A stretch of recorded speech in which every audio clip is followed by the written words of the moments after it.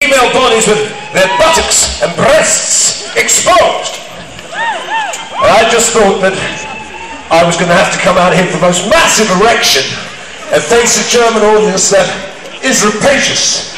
But instead of that, I find myself to be standing here pleasantly comfortable in my trousers and about to sing a song from the Rebel Yell album. It's called Do Not Stand.